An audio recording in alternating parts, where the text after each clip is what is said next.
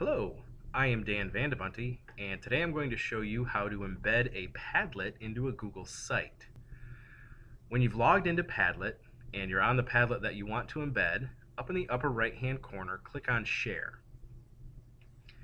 Next to People and Privacy is the other option, Share, Export, Embed. You want to click on Share, Export, Embed. Scroll down, and where it says Embed in your blog or your website, click on that. And then this huge bit of code right here, just click on copy. That will copy that code, the embed code, onto your clipboard. Go to your Google site, click, click on embed, and then make sure you click on embed code, and then just paste that code right in. All right, and then notice it gives you a little preview. Notice that is a Padlet. Click on insert, and then you can adjust the size however you'd like to adjust it.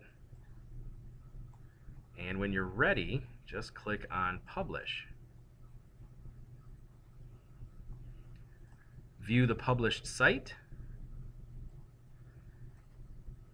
And you can manipulate the Padlet directly from the Google site. And that's how you embed a Padlet into a Google site.